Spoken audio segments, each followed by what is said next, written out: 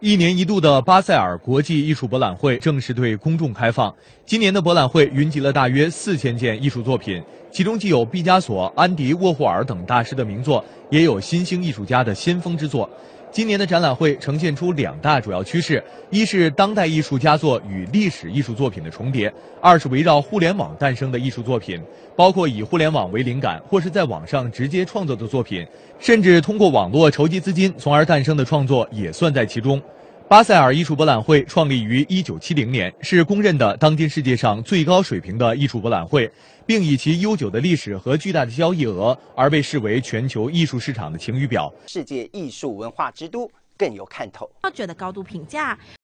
让华洋观众更能深入体会作品的意涵，享受一趟艺术文化飨宴。人间卫视梅涵珍美国迈阿密采访报道。这幅作品呢是画家董卿，他是楚天画院非常年轻的一位画家。这幅呢，他是他最典型的京剧人物。下一次呢就叫西藏印象，所以呢是在他在西藏的时候，这是特别的这种抽象和他的经典就是京剧。